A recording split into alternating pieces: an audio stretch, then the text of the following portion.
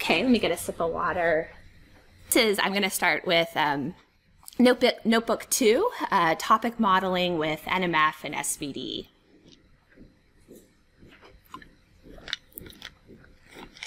Uh, so topic modeling, uh, we're going to use two popular matrix decomposition techniques here.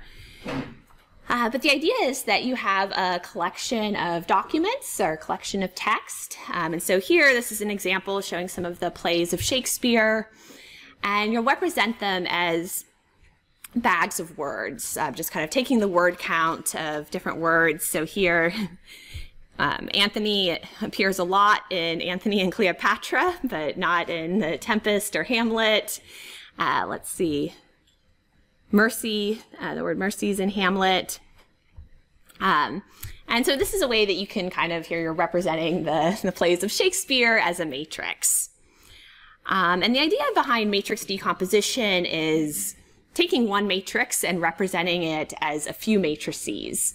Um, and the ones we'll be looking at, these will be matrix products. So we'll take one matrix and decompose it into a few things uh, that multiplied together give you your original matrix. And the reason this is useful is the factors that you're decomposing into have special properties that are nicer than your original matrix. Um, and this is also sometimes called latent semantic analysis, um, LSA. And so, uh, kind of as a motivation, I give a, a, case where what if you wanted to represent uh, this matrix we have of the, and this is called the term document, uh, term document matrix, because here are the terms, these are the different documents. Um, if you were going to represent that just as an outer product of two vectors, you're not going to do a great job. Um, but one kind of probably the best you could do would be to have one vector be the relative frequency of each vocabulary word out of the total word count, and the other to have the average number of words per document. Um, and that would give you as close as you could get, uh, kind of taking information in. We'll we'll do this then with you know multiple columns and multiple rows, and we can think about creating clusters of the of the documents. Um, and so that's what that's what's going to be happening, um, where the different different clusters of documents are groups. So let me start running running these. So here we'll be using scikit-learn and the 20 news groups data set, which is available in scikit-learn data sets. Uh, yeah, uh, scikit-learn.datasets is kind of a nice, I think, collection of data sets that you can get kind of that come with scikit-learn. So news groups were discuss discussion groups on Usenet, which was popular in the 80s and 90s. Um, this is kind of, if you hear about like bulletin boards um, from the earlier days of the web. um, this data set includes 18,000 news groups posts with 20 topics. Um, and then I link to uh, some more tutorials on this. I really like, there's a text analysis with topic models for the humanities and social sciences using a British literature data set, uh, which I'll show a tiny bit of uh, later.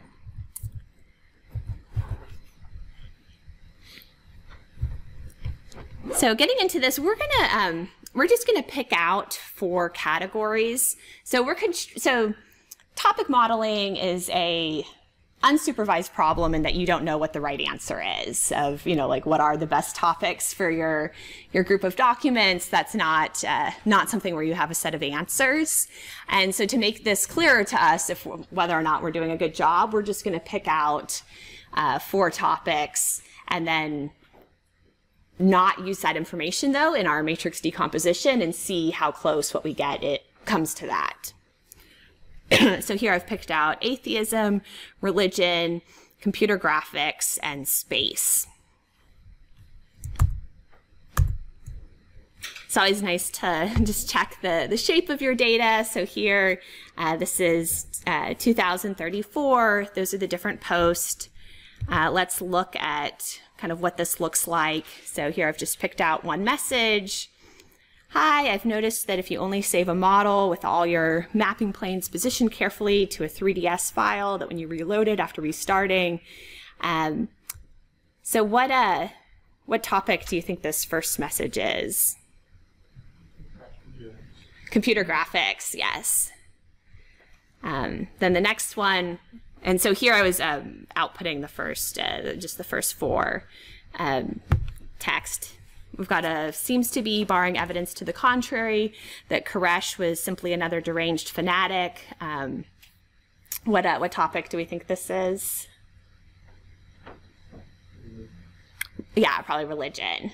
Um, and so this is, uh, if you remember, this is a cult in Waco. Um, I guess it was in the 90s.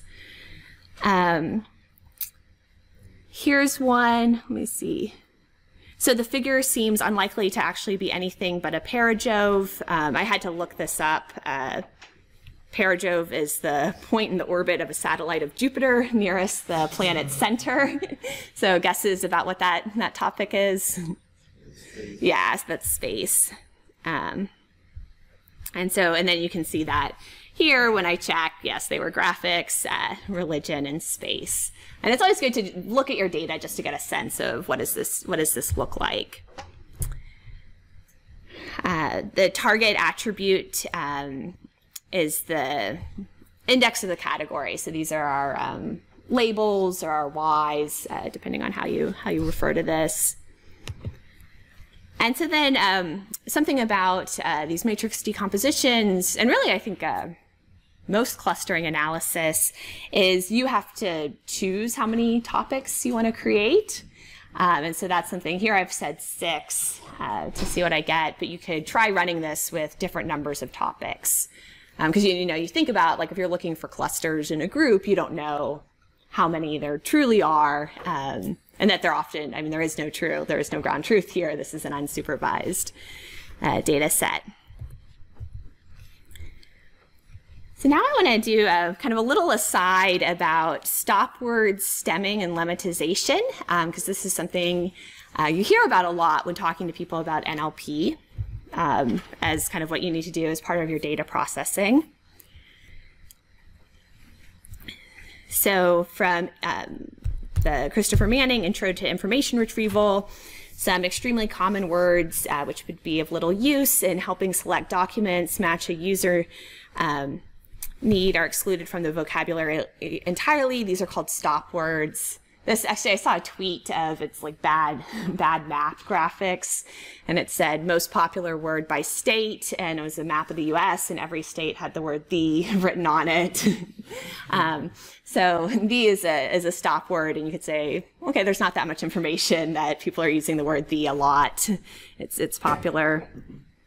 Um, and then here, uh, the information retrieval book uh, does note that the, the general trend in information retrieval sy systems over time has been from standard use of quite large stop list, uh, 200 to 300 terms, to very small stop list, to no stop list whatsoever.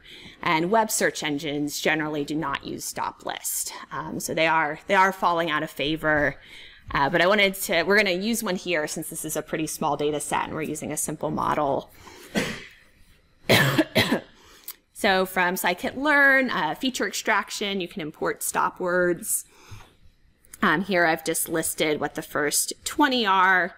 Um, so this is a longer list, uh, but it has uh, these words that were thought to not have not have much uh, meaning, uh, particularly something for here where we're talking about topics.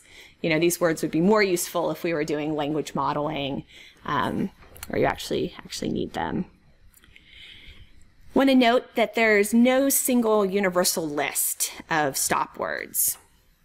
So uh, this really kind of de depends on what library you're using, what they've included as the stop words, or you could create your own list of stop words. So pause. Any question about stop words? Why are they sort of going out of style?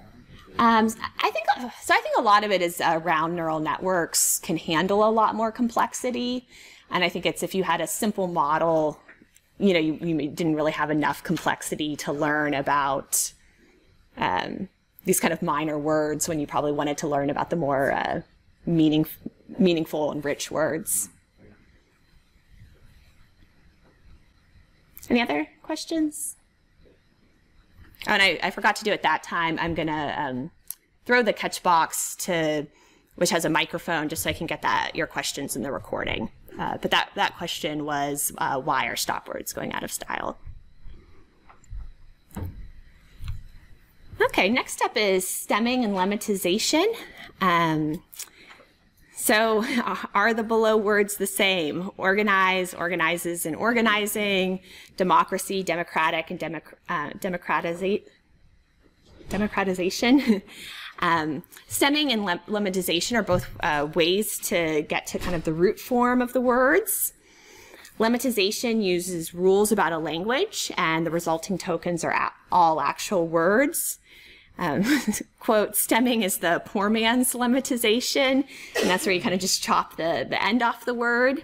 It's a crude heuristic, um, but it is, it is faster, is a benefit of stemming.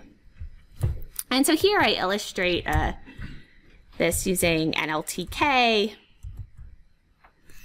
And this also, some of these I was just curious of how it would do it. Um, and there's not a there's not a canonical like this is what the stems have to be or this is what the lemmatization has to result in. It's going to depend on the implementation.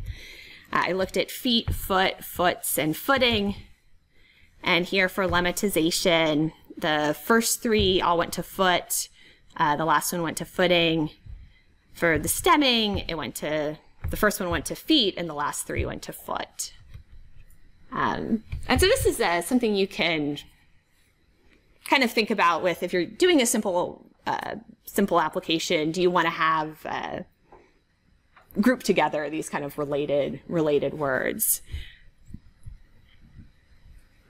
Oh, and so now, um, now I want you to take a few, I'll give you a few minutes, uh, maybe longer, to try lemmatizing and stemming the follow, following collections of words. Fly, flies, flying, organize, organizes, organizing, and universe and university. So let's take just five or 10 minutes. We'll see kind of how long it takes. Um, let me know if you have any problems kind of getting your, your notebook running or, or set up.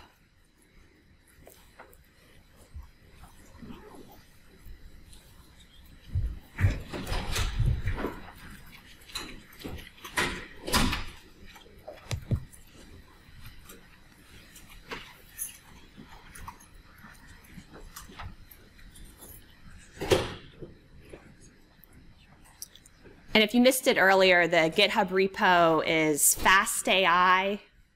Let me see if there's a, oh, so I'll just write it down here. Um, so it's uh, GitHub, FastAI, and then course dash NLP.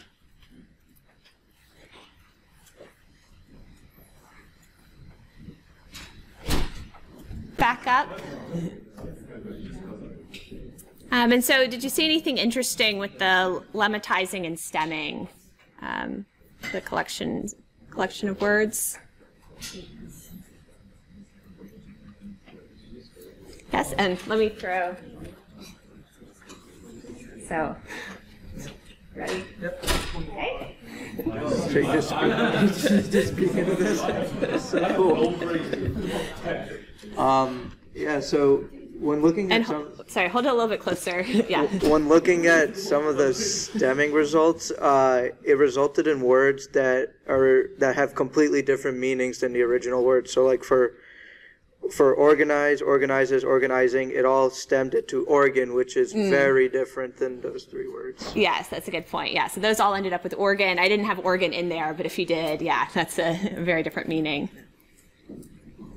Oh, and Jeremy's come to That's in the future, not directly over the the computer setup. um, but does anyone want to say um, about any of the other ones? Anyone?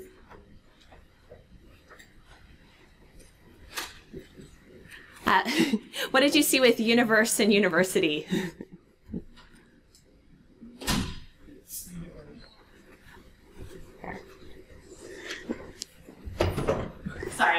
Sorry, it was a little bit no short. uh, universe without the E. Yeah, so those both go to the same word. So that's another example of this, uh, those getting mapped to something. Universe and university have different meanings, but are going to the same word. Do you want to toss it back? well, thank you.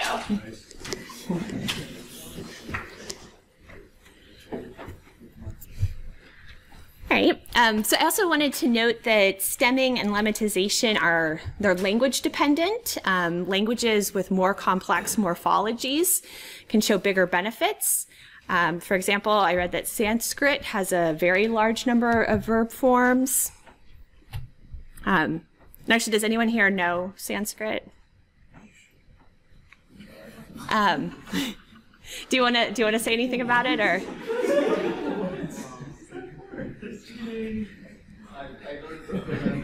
Oh, okay. So this is they showed. Um, I read this a few places, and, and there are other. Um, there are other.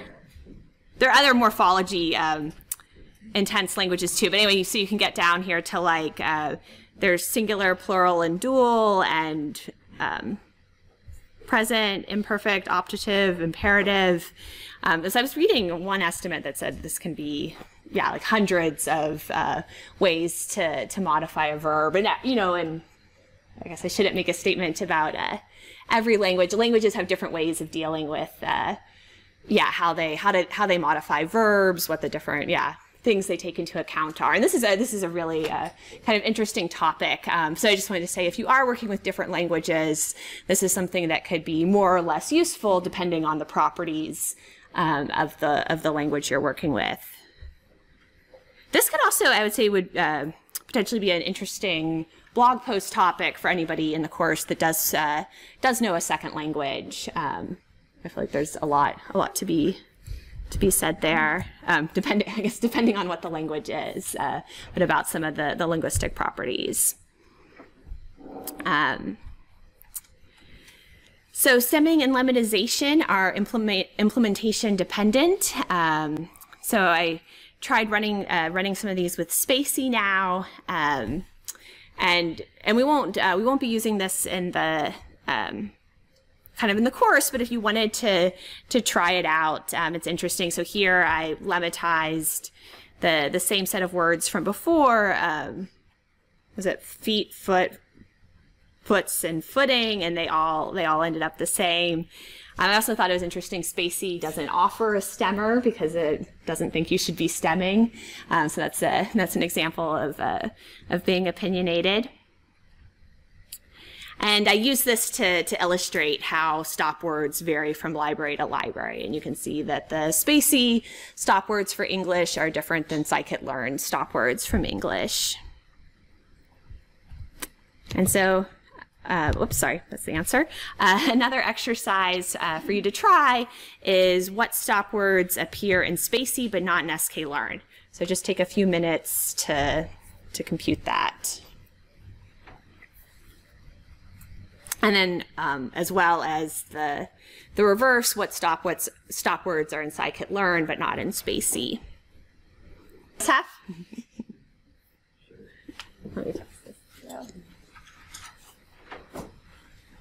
Um, so some interesting ones um, that are in scikit-learn but not spaCy are like fire, cry, mill, just some I don't know some words I wouldn't. Mm, yeah.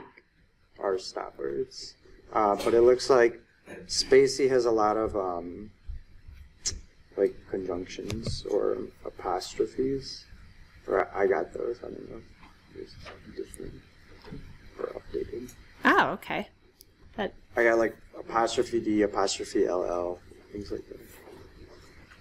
Okay, that's well.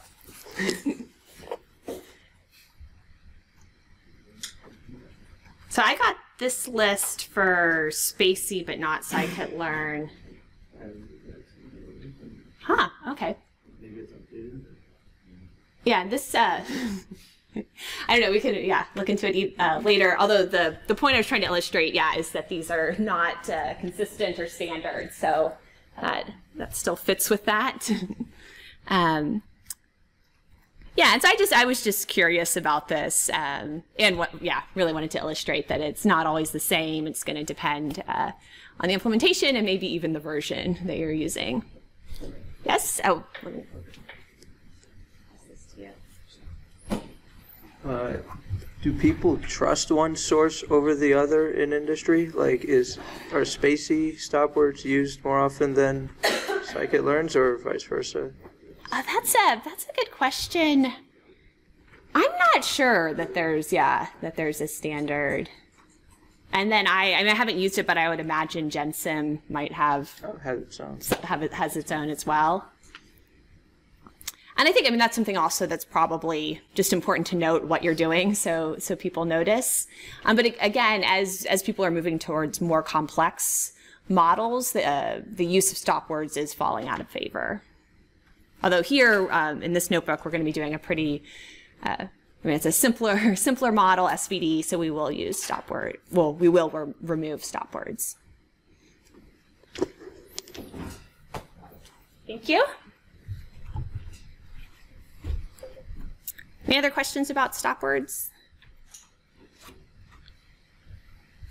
Okay, and so then just um, as I mentioned uh, mentioned earlier, um, in in uh, more complex models and in particularly in deep learning, this could hurt your performance uh, because they are they are ways of throwing away information. Um, although that's you know can be useful when you have a simpler model and are not able to to capture that complexity. And then another approach um, that I have not had a chance to try, uh, but that I have heard uh, great things about and am interested in, is sentence piece um, or these. Uh, I think there's some other techniques for forming subword tokens. Um, and so instead of, we'll talk about tokenization in a moment. Um, we're going to typically be thinking of our words as our units, um, and sentence piece thinks about subword units. Um, so that's that could be something to look into, or even something, yeah, to try using in uh, the project you do for your blog post. Okay, so going back to the the problem at hand of topic modeling, uh, looking at this collection of postings that we have on uh, computer graphics, space, uh, atheism, and religion. Uh, so we're going to be using, today we'll be using um, scikit-learn's count vectorizer, um, although in the future we'll kind of uh, dig more into how you would uh, create tokens on your own or, or do this sort of work on your own. Let me run these.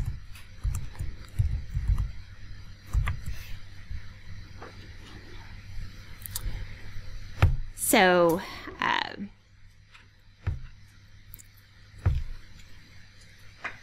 we're creating uh, creating vectors. Uh, we have the shape of uh, 2034 by uh, 26,576. Here, the 2000 is the different um, the different postings. So those are you know separate. I guess the modern equivalent you could think of posting on Reddit or another uh, kind of discussion site.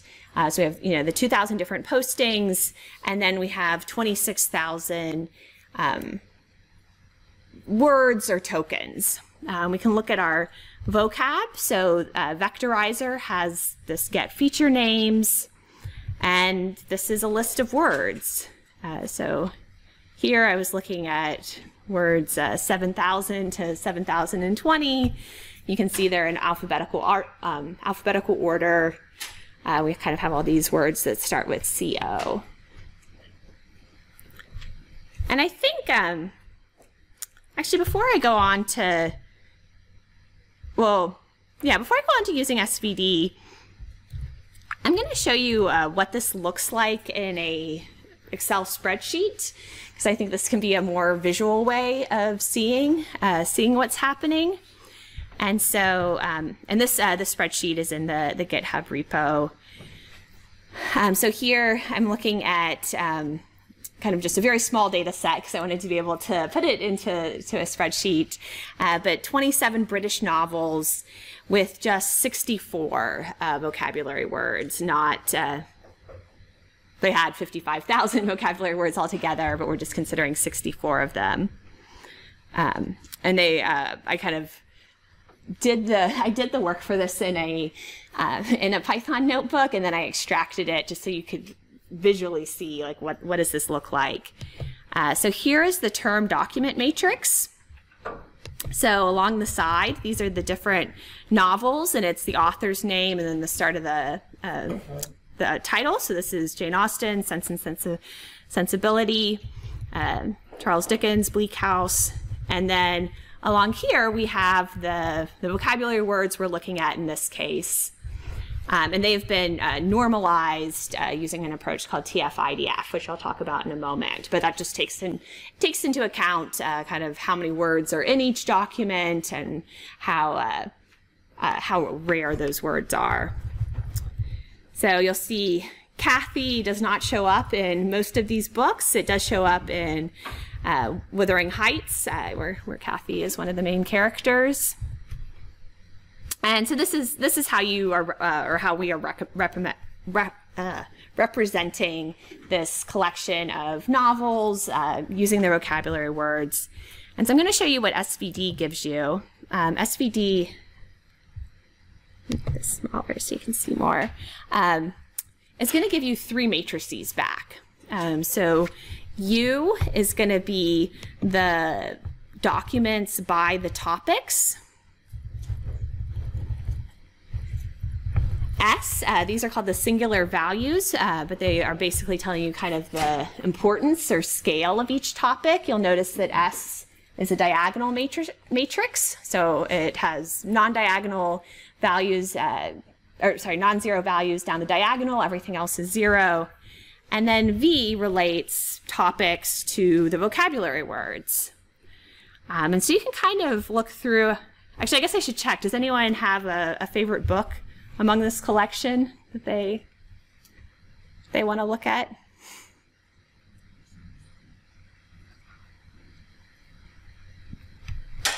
Okay, so I was I was scrolling through um, yesterday just when I was preparing.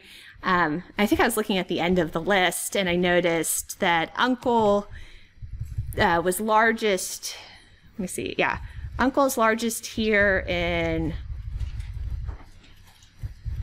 I guess this must be topic uh, topic five. Yeah. So then we can come over here and see, okay, topic five. And I saw, oh, um, Sterne Tristram has a high, relatively high number, 0.47 for it. And I actually was not familiar with this book, so I had to look it up. And let me, let me pull that up.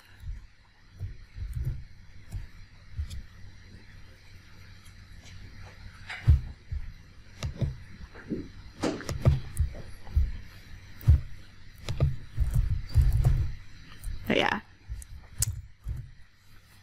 So it's the life and opinions of Tristram Shandy, uh, gentleman, and it turns out that one of the main characters is the uncle. Um, so that that at least fits with. Let me find it. Here it is. Yeah. Uh, apart from Tristram as narrator, the most familiar and important characters in the book include his uncle Toby. Um, and actually, we could go back and let's see if Toby is a Oops. Let's see if Toby's one of the vocabulary words. May not have made the, made the cutoff. Okay, yeah, so Toby's in here. Toby is largest for topic five again. So topic five involves Uncle and Toby. And when we go over one of the books that has a lot of topic five in it is um, The Life and Times uh, I've already forgotten the name. Tristram Shandy. Any questions about this? Well, so we'll see this from the kind of the Python point of view, but I think there can be something nice about the visual and uh, of where we're going, kind of what these topics look like.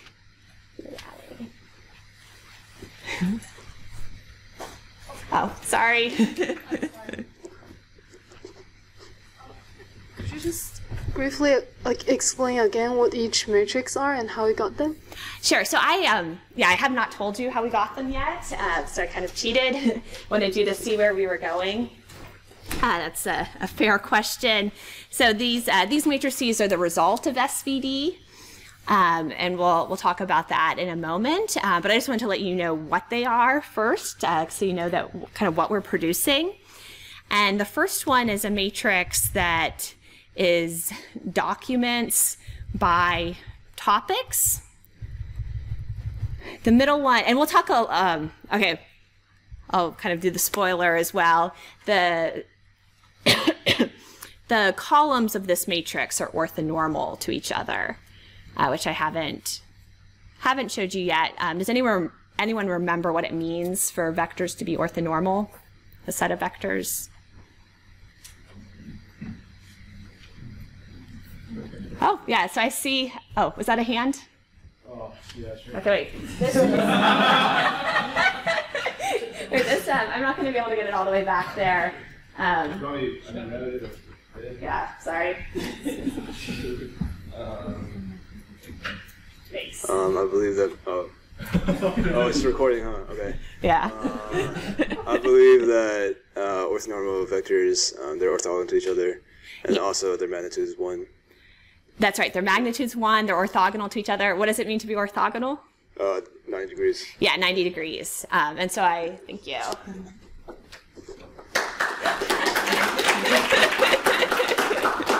thank you. Um, yeah, I saw several people kind of doing this hand sim- uh, signal. Um, yeah, they're uh, they're perpendicular to each other, which means their dot product.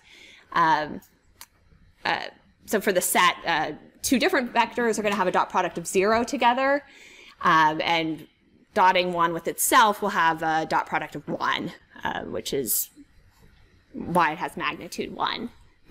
Um, so these uh, these different uh, topics are orthogonal to each other. These uh, columns. Then we've got uh, this matrix in the middle, uh, where these are called the singular values, and they're going to be uh, positive numbers, uh, and then everything that's not on the diagonal zero. And then over here, we have our matrix V that is topics by vocabulary words or tokens. And here the rows are orthonormal to each other. So let's go back to the, the notebook.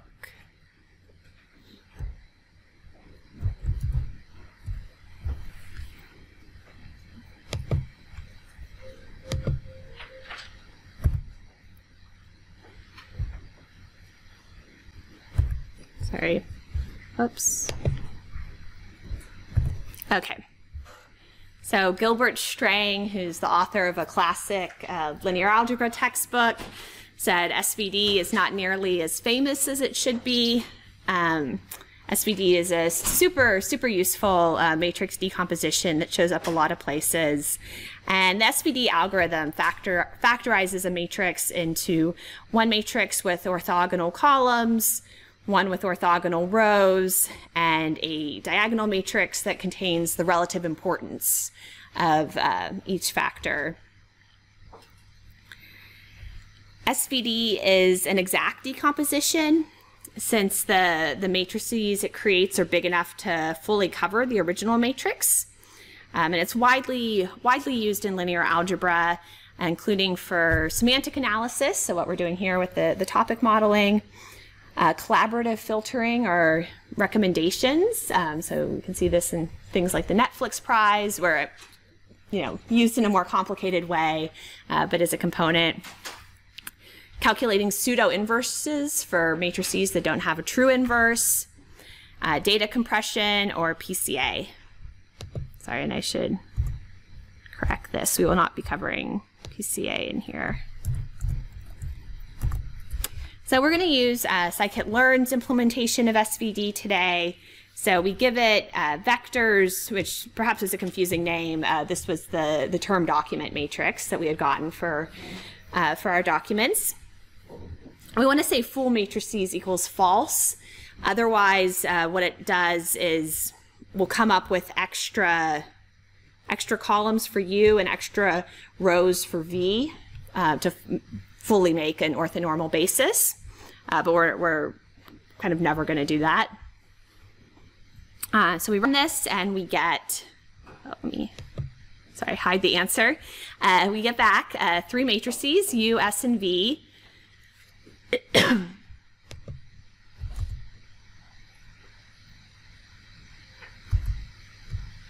then I want um, I want you to uh, oh sorry um, I want you now to take a moment to do this exercise and confirm that the decomposition uh, is the is the input. um, I'll, I'll show this one. Um, so what you want to do is multiply the matrices together. Uh, I called that reconstructed vectors as U. Um, so did you see that S uh, S showed up as a vector, even though the middle the middle matrix is a matrix. So this is probably the maybe the trickiest part about this. And actually, can show this above. Uh, well, you can see with S's shape, you know, that it's 2034, comma, meaning it's just this one-dimensional vector. Um, so NumPy has the dot diag, and that turns, it, it's neat. It, um, if you put uh, a 1D array into it, it'll make it into a matrix. And if you put a matrix into it, it'll pull off the diagonal and give you back the, the 1D array. Actually, let me, um, I guess, show you that on maybe a smaller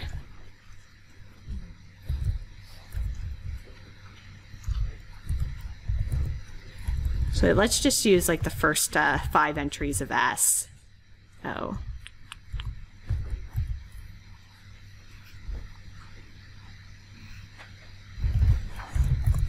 Sorry, these are parentheses. I'm going to do just the four so it fits on a line. Okay, so here we were giving it, actually let's print this out.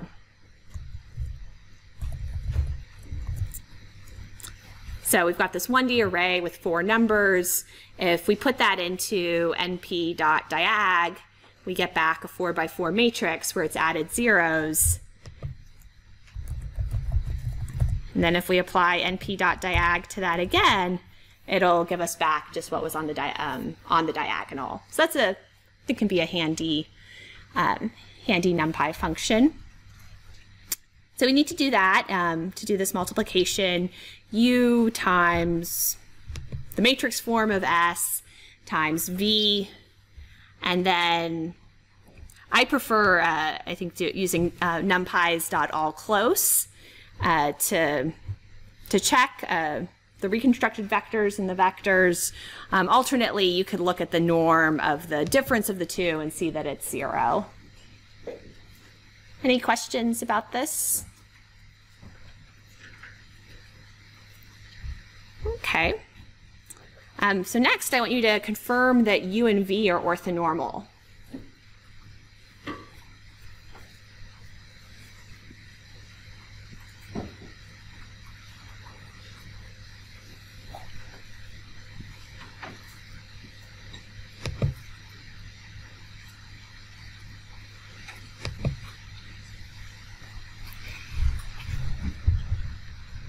Yes? Oh. Wait, you do that. in the uh, question we just had, why do we um, subtract? Uh, so you don't need to, this is a alternate way of doing it. Oh, so either of those. Yeah, sorry, let me put that maybe separately.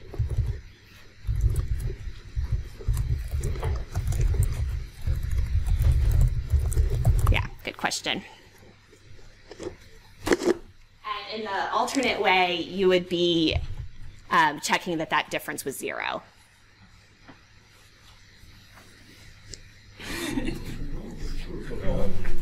Just take the dot product of U with the transpose of U, and same thing for VH. That's right. And oh, actually, I should say, and what are you looking for? Matrix of ones. Yes. Yeah, so take the, the dot product. Are you okay? I'm fine.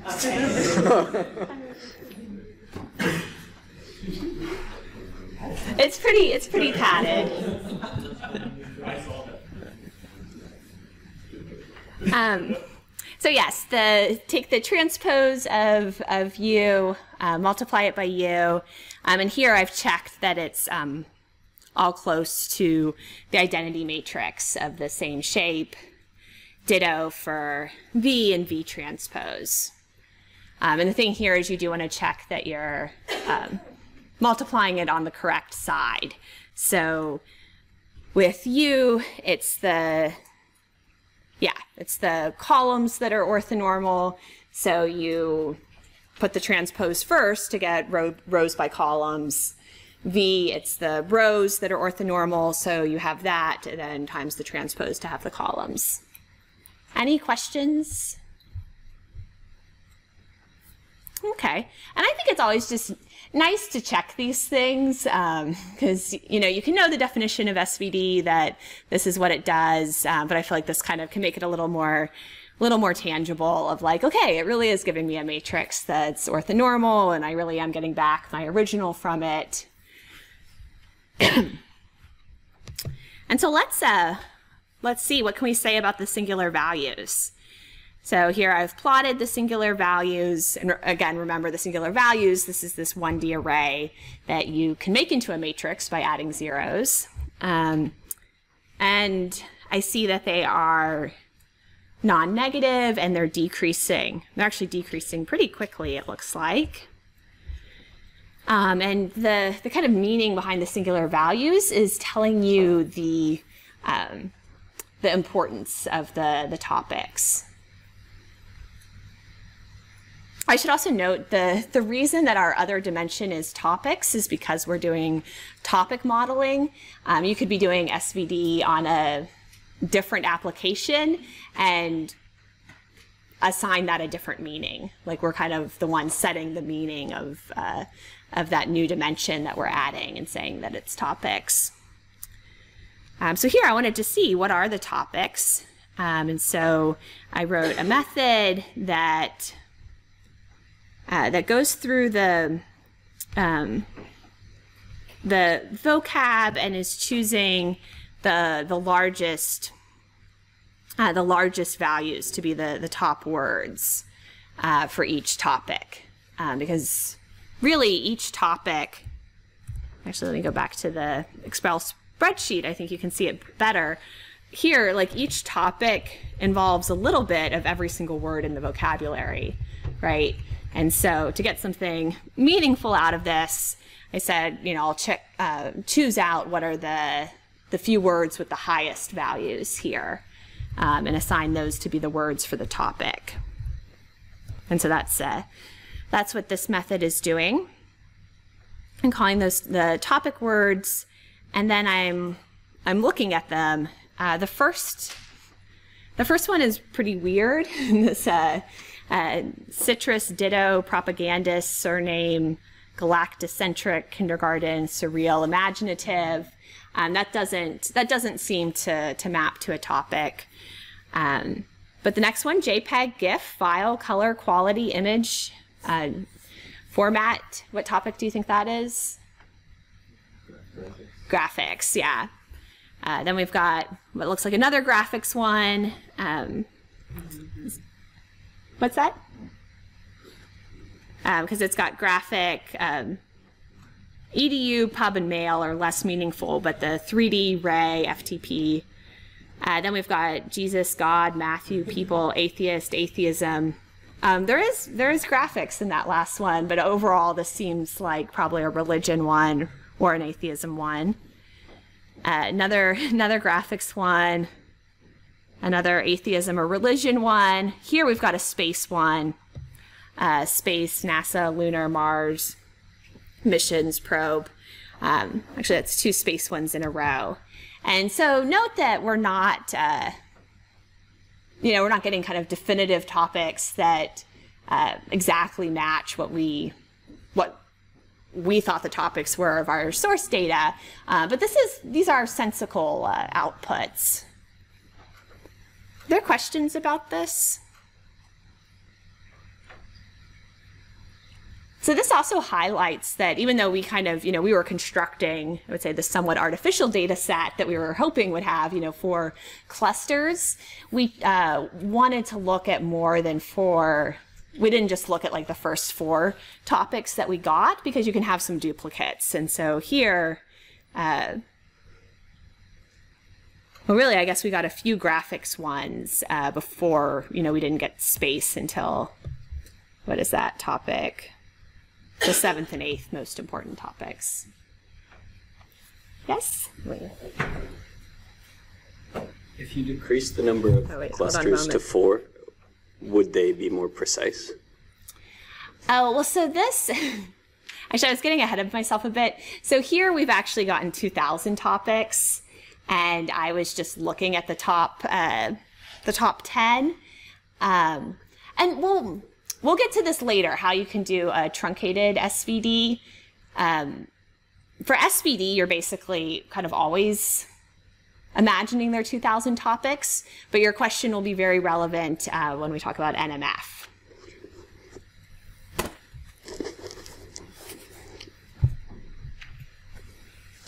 Yeah, so that's actually a good uh, good tie tie in to to start talking about NMF. And so NMF is a different matrix factorization. So in practice, uh, if you're doing a topic modeling problem, you would either use SVD or you would use NMF. Um, I'm just showing both to kind of illustrate some of their properties and differences. The motivation for NMF is kind of wondering, okay, what do negative values mean in a lot of context? And even, oops. You know, even here, when we look at our words, what does it mean that, let me find a good negative. Like topic seven refers to negative 0.29 atoms. How do we interpret that? Um, and so a lot of people like NMF for its interpretability um, of not having not having negatives, as the as the name suggests. And so here, this is looking at an image problem of decomposing faces into different components. Um, and th- this is also something that, you know, earlier I was saying we're calling these components topics because we're doing topic modeling. If we were using SVD on face images, we would call our different components that we got, I guess, like different components of the face or different pieces of the face. Um, and so this uh, this would be something uh, kind of more akin to what you could get from SVD. Whereas with NMF, uh, because it's non-negative, it's like, oh, I can see how these are pieces of faces. Um, so here, you know, here's kind of like underneath someone's eyes. This is the right side of someone's nose and um, kind of around the mouth. Um, so NMF by giving you non-negatives. So what we liked about SVD uh, decomposition is that the resulting matri- matrices are um, orthogonal. um, NMF, we're saying let's make them, let's constrain them to be non-negative. And so our data set V is going to be a product of just two matrices here, W and H, uh, both that have non-negative entries.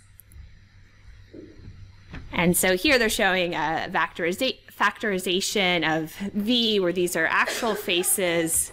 And so each face has been um, kind of unwound, you know, to be a single array of um, pixel information. And they're representing that as facial features by the importance of the features in each image. And you can think of these. Uh, so matrix uh, matrix multiplication.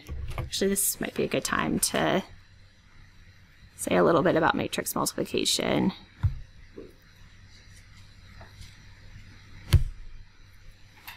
Uh, matrix multiplication, one way to think about it is taking linear combinations. So typically, um, you know, a lot of people, when you talk about matrix multiplication, you might think of a song, row by column, row by column. Um, I meant to look up the, the lyrics before this. Um, I think it's multiply them, add them up one by one. Uh, but there's an alternate way to think about matrix multiplication, which is thinking about the columns of what you have first. And then, actually, I should have think of these names. Okay. So say you have a column called A, B, C, and D. Um, if you were multiplying that just by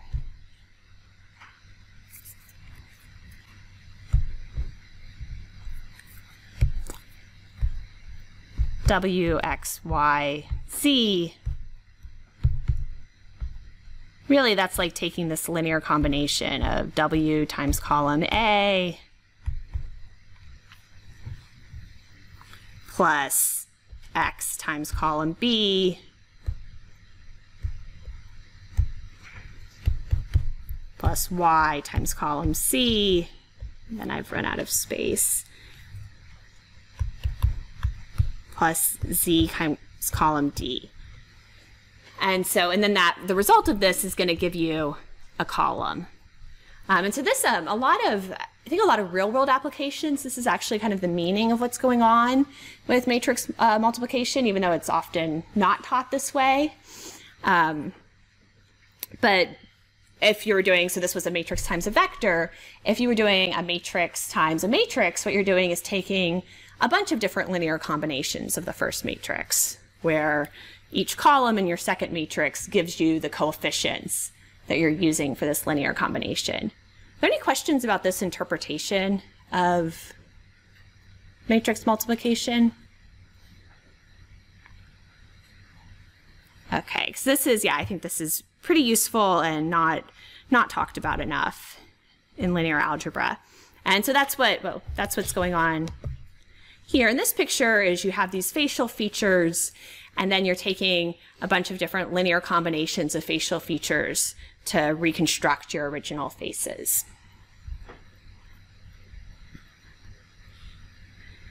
Uh, things to note about um, NMF is that it's non non-unique. So SVD is giving you a unique decomposition, NMF does not.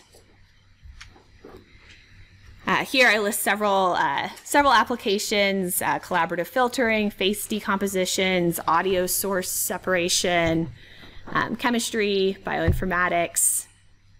Um, but going back to NLP and our topic at hand, uh, if we were looking at, I should note this is transposed from a lot of the matrix, how the matrix is in Excel, uh, where it's words by documents then this is giving us topics and topic importance indicators. We're going to use uh, scikit-learn's uh, implementation of NMF, and here we have to set the number of topics. So that's setting the number of clusters that that we expect or we think we might have. And so this is kind of a hyperparameter that you're having to guess at and that you might want to try different things with. Uh, so we'll use uh, use decomp. Yes. Oh wait, let me give you.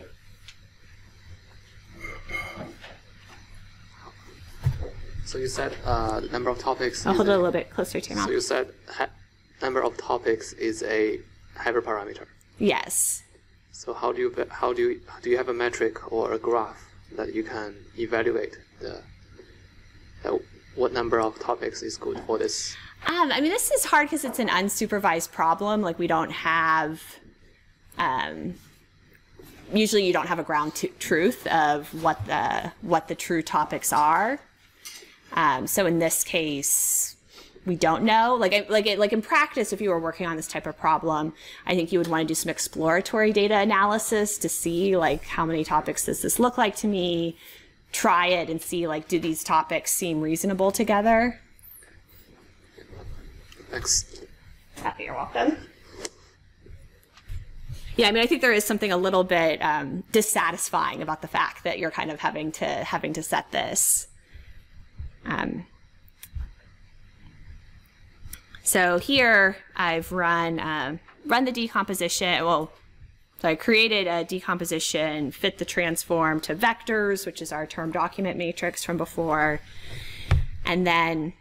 Uh, that returns the first matrix W, and then this is how you access the second matrix H. And here I'm applying show topics on H, and this is what I get back. And what do you what do you think of these topics? I thought they were I thought they were pretty good. Um, we've got computer images. This is actually very similar to one of the ones that showed up in SVD, the second one. Uh, third is space, either religion or atheism, then other computer graphics. We might want to rerun this with more topics. Something to note is my show topics method, um, remember, is only showing, and this is the method that I wrote the end of the SVD section up here. Um, I've I've manually chosen the number of topic words uh, because kind of same with SVD, you can have a value for every single word, you know, which in this case is 25,000 words, but many of those are going to be zero or close to zero uh, for NMF. And so here I'm just choosing the, the eight largest to display as the topic words. And then we can see this in Excel. So I had the SVD, then I also did NMF on this collection of British novels. Here I did uh, 10 topics for them. Um, I mean, something that uh, I guess is nice is if you have lots of zeros, it's sparser. So, like here, Cathy only shows up, or sorry,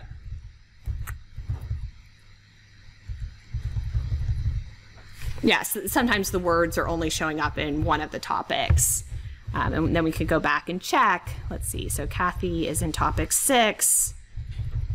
We would expect uh, Wuthering Heights to have a fair amount of topic six, since Cathy's one of the main characters, and it does. It's uh, 0.79. And so this is kind of how you can look at it again. And we've got just two matrices here. Any questions about? And let me. Sorry. Okay. I'll repeat the question. How did how did I get the Excel file? Um, so I I cheated and I I did this work in. Um, in a uh, in an IPython notebook, uh, so I did this in Python, and then I think I saved them as CSVs, maybe the the matrices so that I could copy them into an Excel file. Yeah, so I don't think I saved that. Sorry, this is from a few years ago. Yeah, I kind of did it as scratch work. But I encourage you to try recreating it because I link um, I link to the data source here, so you can kind of download the, the British novel data. Um, oh, no, I do have the Python code.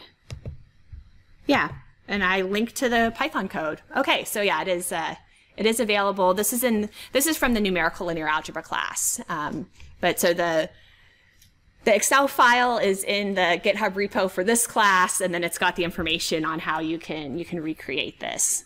Uh, but here I really uh, primarily just wanted to give you a way to visualize, okay, what do these factorizations look like? Because um, I think when you're just reading the equations, they can sound more complicated. And then when you see it, it's like, okay, these are just matrices of numbers. Any other questions about this? Okay, so let's go back to back to the Jupyter Notebook.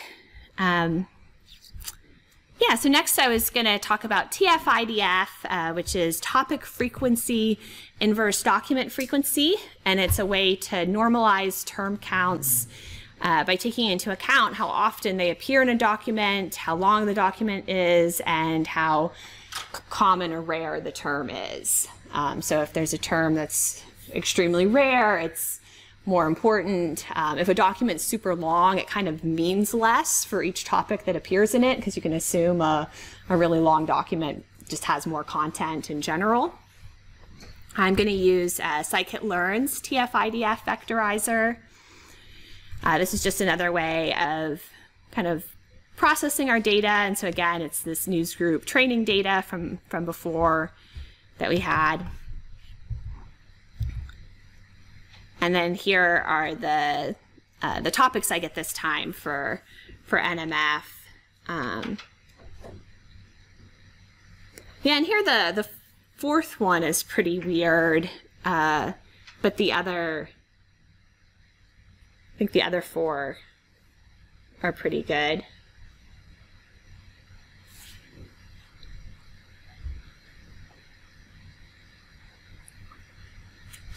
And something to note about NMF is that it is not exact, um, so you may not get your original matrix back perfectly.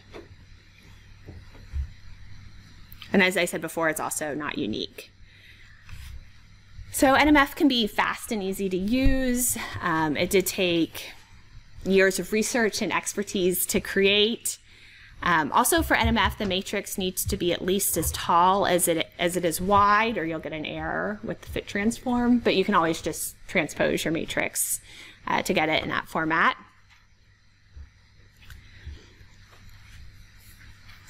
So something that was nice about um, NMF is that we were only having to calculate a few topics. And SVD, we were calculating 2,000 topics, right? Whereas most of those were not very meaningful. Um, and we kind of would like that benefit for SVD of not having to calculate so many topics. Um, and the way to do this is called truncated SVD. Uh, we're really just interested in the vectors corresponding to the largest singular values. Um, and so this, uh, there's a nice uh, Facebook research had a nice post on fast randomized SVD. Um, so some shortcomings of class, classical algorithms for decomposition are that uh, matrices are often, uh, quote, stupendously big. This is from a nice paper. Uh, let me open this. Um, about uh, probabilistic algorithms for matrix decomp decompositions. Um, data is also missing or inaccurate in the real world, and it's kind of why you use a ton of computational resources when you know that your input was somewhat imprecise. And so there's a, you know, there's not a there's not a big benefit to being very precise with your calculation if your input data is not that precise. Um, data transfer now plays a major time uh, in algorithms, and so this is moving. Uh, moving data from disk memory to, uh, you know, registers or cache, moving it to the GPU if you're doing GPU uh, computations, uh, but moving data around can be uh, time consuming, or yeah, very time consuming. and so randomized algorithms are a great, great solution to this. Uh, they're stable. Uh, the performance guarantees often don't depend on kind of these properties of the underlying matrices. Um, can be done in parallel. And so we're just going to look at randomized SVD as one example of a, a randomized um, algorithm. And it's going to kind of let us get some of these benefits for SVD that we saw of NMF of, you know, we only had to calculate five topics for NMF, um, if that's the number we chose. Whereas with the original SVD, we were throwing away a ton of data by only looking at, you know, a few singular values and a few topics.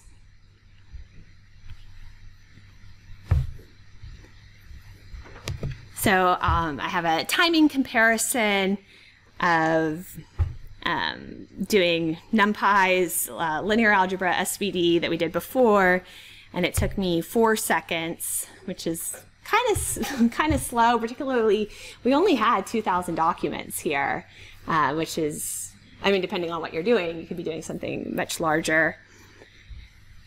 Then I used um, sklearn's implementation of randomized SVD, and it was three seconds. So that's a nice, I mean, that's a 25% speed up. And then I used uh, randomized SVD from Facebook's library, FBPCA, and that was just one second. So that's significantly faster. Um, so that's neat that it's a lot faster. I should note here I'm having to input uh, how many how many singular values I want to calculate, which is going to map to, you're going to have the same number of columns of U and rows of V. Uh, it's going to correspond to your numbers of singular values which is you know necessary for this matrix multiplication of u times s times v to to work. Um, so I chose 10. If I had chosen more, this would be would take longer. Um, yeah, and that's uh, the end of this notebook. I'm going to talk more about this, uh, some more about this next time because I know this was probably a little bit quick. Um, are there any any final questions for today, though?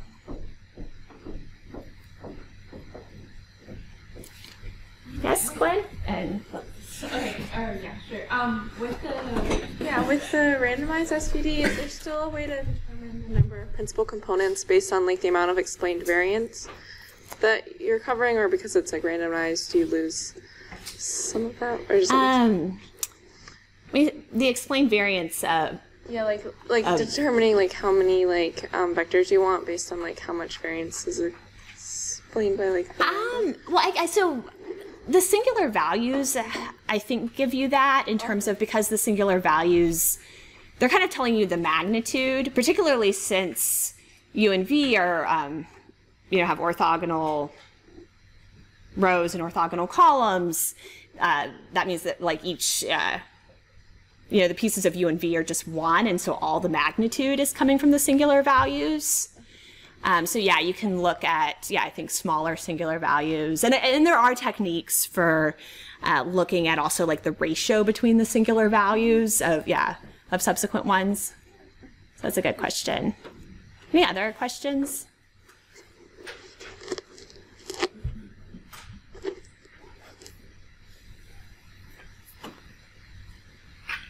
Okay, we're about at.